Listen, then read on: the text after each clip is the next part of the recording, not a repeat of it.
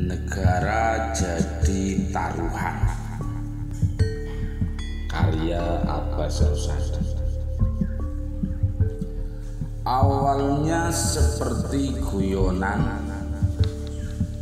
Televisi terus kabarkan Wuhan Masih guyonan. Lockdown jadi pilihan. Terus jadi guyonan penasaran. Cina bikin gebrakan jawab guyonan. Rumah sakit kapasitas 1000 bed disiapkan. Guyonan jadi terheran. Dikerjakan dalam waktu satu minggu, lengkap dengan fasilitas kesehatan virus Wuhan jadi sorotan. Semua media membesarkan, terus tumbuh jadi hantu menakutkan.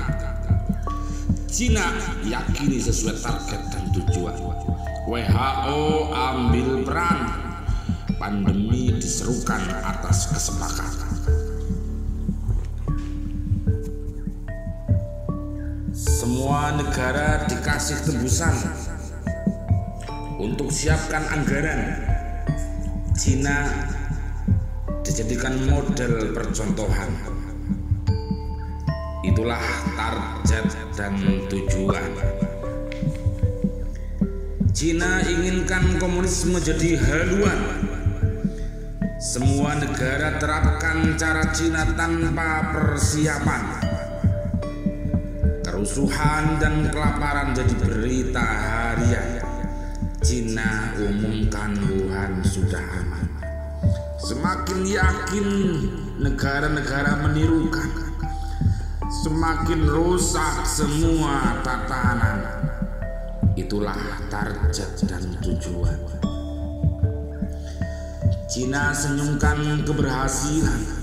Lihat semua negara kelabakan tanpa persiapan tirukan pencegahan seolah demi kemanusiaan negara semuanya dipertaruhkan. Oh, corona. Bukan lahir dalam ruang hampa. Corona lahir dalam tujuan nyata. Untuk merusak semua negara, memberangus semua agama, merontokkan semua budaya bangsa. Oh Corona. Engkau kelabui umat manusia Wajahmu seolah tanpa rupa. Tidak terlihat gejala.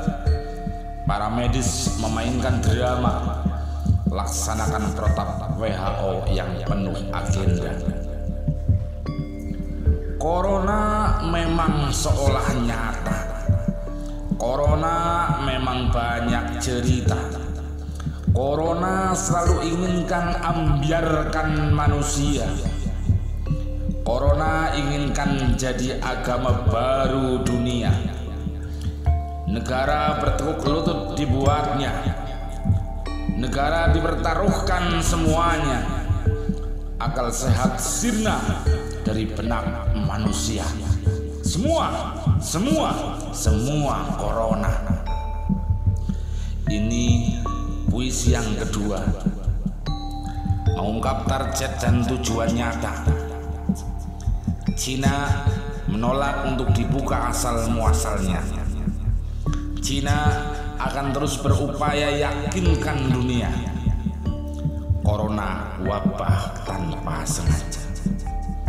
Oh Cina Cina negara komunis yang batasi warganya dalam setiap langkah dan ceritanya tidak ada Tuhan dalam pandangannya tidak ada kepercayaan dalam keyakinannya semua adalah nestapa semua adalah objek tak berdaya. Cina satukan dunia dalam kendalinya. Komunisme jadi pegangan utamanya untuk mengatur semua manusia